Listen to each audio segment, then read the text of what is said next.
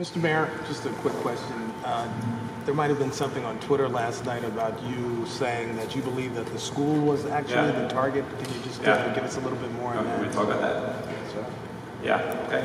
Um, let me start by saying that um, I am elected into office to have an opinion and to make judgment calls based on what I see. And, uh, and then the residents decide whether those judgment calls were good. And uh, that's what I try to do. I try to be transparent with people and upfront and give them an honest assessment of the information that we see. I'll start by saying that um, when we saw the information three days ago, and uh, it was fairly easy to conclude that it was a hate crime, we came out very aggressively and early and said that. And had we waited and said to the broader community that we were unsure of the motives, it would have undermined my trust and my relationship with the community, right? And I view everything and every decision that we make and every comment that we make through that prism. So let me start on that. Um, the reason I said that was based on three things. The first is based on video footage that we have seen that we have turned over to the uh, authorities that we believe it's fairly clear that he walks to the door directly adjacent first and then pivots. Um, as you all know, the yeshiva and the school is directly adjacent, attached to that building. That's number one.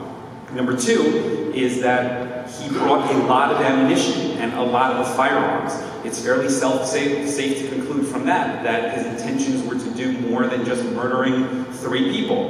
Number three is he drove to a location that is a known yeshiva and the center of that Jewish community there. Um, that's not something that's a secret in the Jewish community. There were 50 children there that everybody knows. I think you put those things together, and nobody will know the exact answer because those two perpetrators are dead, but you put those things together, I think it's fairly safe to conclude that that was the direction that he was going. Now, why is it important to say it now? It's important to say it now because, um, as I said, in a lot of darkness, there's a little bit of light with the police officers that responded and probably changed that plan because they were a block away and they ran towards the gunfire. And people should know that this could have been far, far worse. This could have been the equivalent of a Sandy Hook type tragedy. That's number one. Number two is it's important for people to recognize the fact that when people say that maybe this wasn't a hate crime, maybe it wasn't anti-Semitism, maybe it was something else, maybe we're making it larger than what it is, um, they should recognize the fact that the intent was much, much larger.